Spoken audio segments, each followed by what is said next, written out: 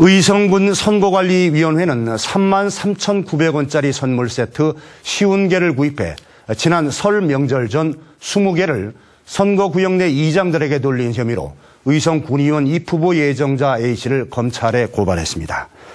선관위는 선물 세트를 받은 이장들에게는 조사 협조 상황 등을 고려해 30배 범위 안에서 과태료를 부과할 방침이라고 밝혔습니다.